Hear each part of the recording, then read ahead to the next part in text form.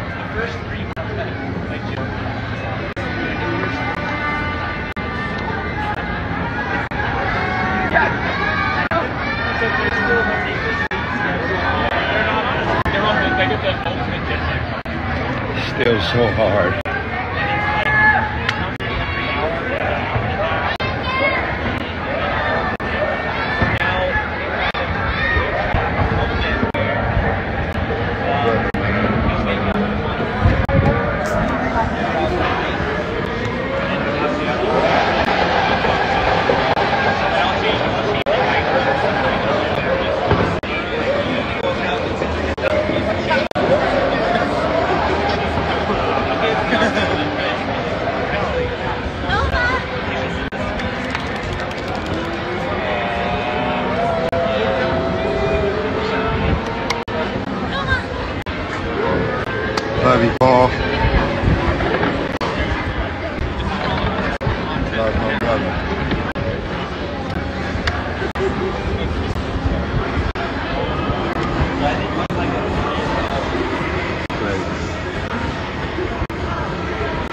significance of this car is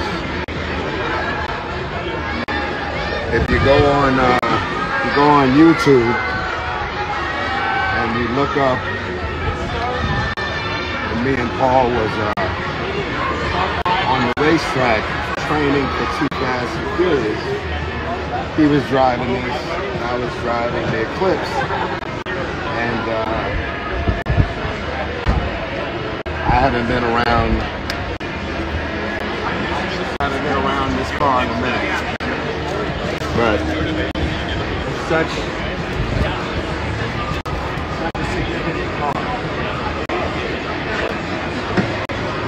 Just looking at this car makes me miss my brother.